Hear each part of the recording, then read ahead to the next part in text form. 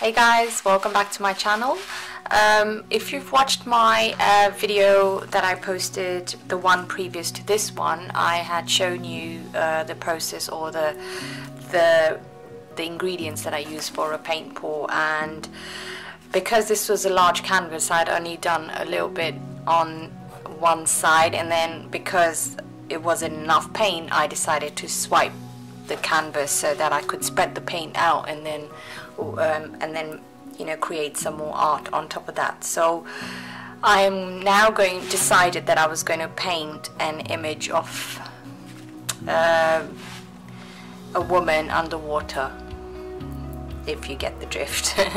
So what I'm gonna I'm gonna try and achieve that anyway. So I'm I've used a um, white pastel um, to kind of draw out the outline of what I'm going to paint over.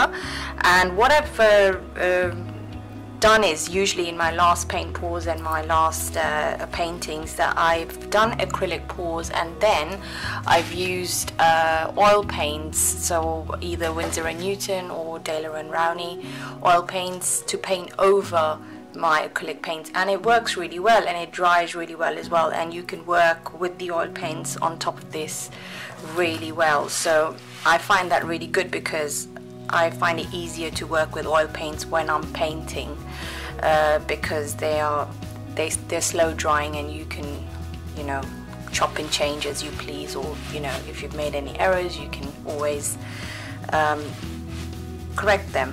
So I'm gonna now do a painting on top of this and the previous painting uh, pour that I showed you um, of you know the cells and how to get cells and what ingredients to use for your cells.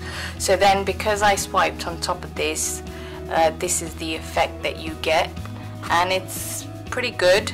And um, I mean of course it doesn't you know show up that great on video but it is really vibrant and really nice.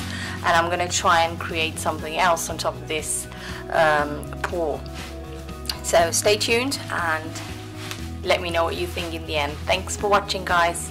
See you in a bit. So basic um, blending for uh, skin tones uh, I usually use um, titanium white yellow ochre burnt umber and red. And then what I do is I mix all these three together like so and add some white there as well. So that gives you the skin tone the basic uh, skin tone that you know people usually have uh, the undertone.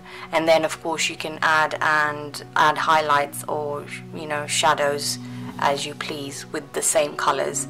So avoid using um, uh, ivory black because that kind of makes your paintings gray. So always use I use these three colors but of course every artist is different and I'm sure they have their own ways. But these are the three colors that I use